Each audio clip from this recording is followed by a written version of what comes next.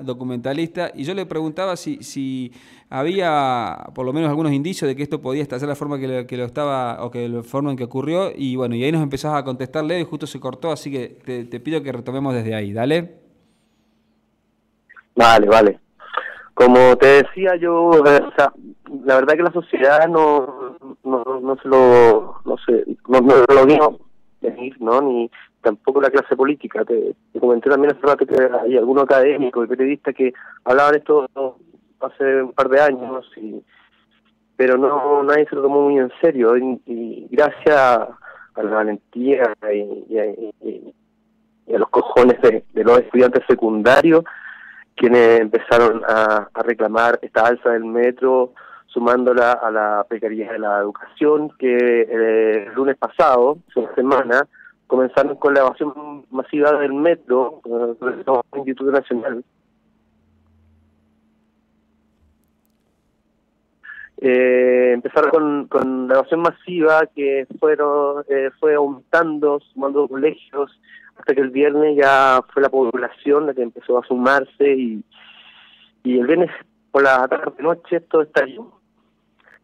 Eh, estalló con manifestaciones, con represión policial, con el presidente Sebastián Piñera cenando en una pizzería de, del barrio Alto, y que luego, después de, su cena por el cumpleaños de su sobrino, eh, decretó estado de emergencia.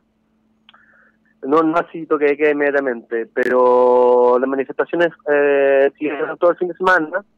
A sábado eh, se, se el primer toque de queda y así estamos hasta el día de hoy que que o sea la, la clase política quería comenzar un, día más o menos normal invitando a gente a volver a sus trabajos pese a, a, que el transporte público está muy dañado la república está muy muy dañada y mucho comercio también fue incendiado por por por, por, por por la turba, ¿no? Por a veces, a veces estos piquetes, el saqueo, eh, algo que no se puede controlar, o sea, la rabia de la gente, la, la violencia de, del sistema económico hace que también esto estalle. Entonces, fue un poco contradictorio ayer escuchar declaraciones que hablaban de, que esto es una guerra eh, desde el gobierno, ¿no? Esto es una guerra, pero mañana pueden empezar a ir a trabajar nuevamente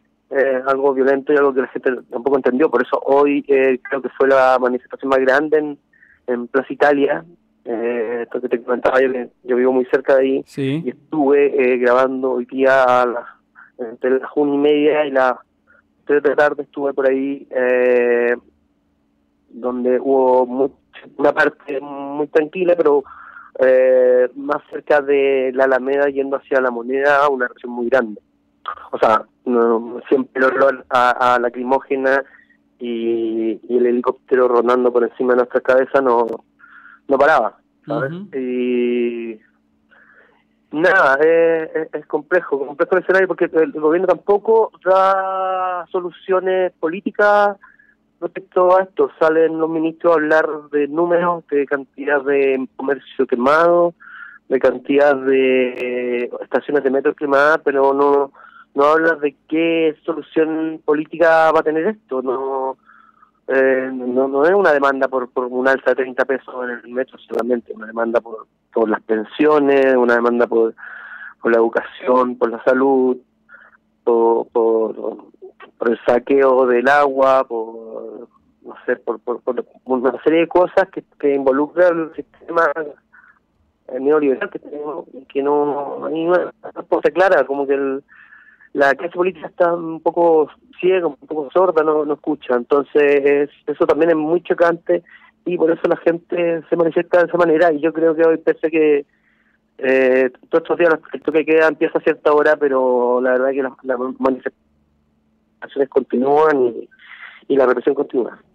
Leo, te, te, hago la última porque sé que también estás ahí registrando algunos, algunos materiales, pero hoy escuchaba a Patricio Navia, un analista político, y decía, la demanda eh, es por inclusión. ¿Vos crees que esto es un quiebre para lo que se planteaba sobre todo en América Latina como el modelo Chile, un modelo de, economía prolija y ordenada, pero que escondía una profunda desigualdad hacia adentro del país?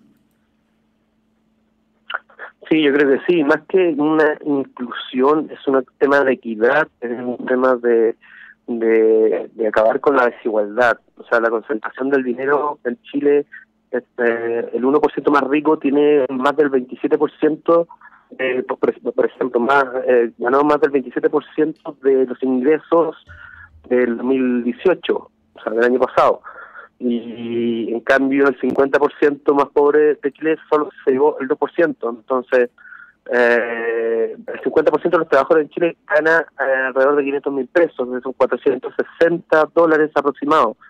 Y, y, en, el metro se están gastando alrededor del 30% de su sueldo al mes para un servicio que, que, no sé, hay gente que vive en Santiago muy amplio, entonces gente que, que tiene que recorrer por la mañana dos horas para ir a su trabajo, trabajar, que acá en, Chile son muy extensas, se trabaja mucho. Y después dos horas por la tarde, entonces tienes alrededor de 16 horas fuera de tu casa, no tienes vida, y, es complejo. O sea, el, modelo económico chileno, de cierta manera, es un poco eh, es un poco, como decimos acá, es un de humo, ¿no? Que eh, aparte que la mayoría de la gente que trabaja, o sea, de mi generación, poco nos, nos criamos bajo bajo la dictadura, entonces eh, lo bonito de, de, todas estas manifestaciones es que la juventud está está despertando y bueno, es, parte de, lo que se grita en las calles, parte de, los hashtags en, en las redes sociales, ¿no? Chile despertó y, y despertó despertó este sueño de del modelo económico chileno que era un ejemplo se suponía un ejemplo para, para el resto de Latinoamérica, pero de, verdad eh, agrava más la, injusticia social. O sea, se, eh, hay, hay, hay, hay, una noticia que Piñera debía hablar de un oasis, ¿no? Un oasis en Latinoamérica eh, convulsionada y, y, ayer ayer estamos en guerra interna, ¿no? Entonces, es un ejemplo de, de presidente parece gerente de, de una empresa que, que, ya no está dando el rédito que necesita. Leo Contreras Barahona, documentalista desde Santiago de Chile, hablando con nosotros en Buenavista Radio. Te mando un abrazo, Leo. Hace unos cuantos años que no nos vemos. Y, Muchísimo, pero bueno, podemos mantener el contacto. Exacto, lástima tengamos que hablar en estas circunstancias, pero te agradezco mucho porque la pintura, el relato que nos hiciste, nos da una, verdadera dimensión de lo que está pasando allí, eh, porque también a veces los medios cuentan las cosas de acuerdo a sus propios intereses y, faltaba también, parece, la, información, la, mirada de primera mano de alguien que está allí y que vive todos los días en las calles de Santiago. Te mandamos un abrazo y muchas gracias y estamos en contacto, querido amigo. Muchas gracias. No, gracias a ustedes. Igualmente, un abrazo grande. Nos vemos.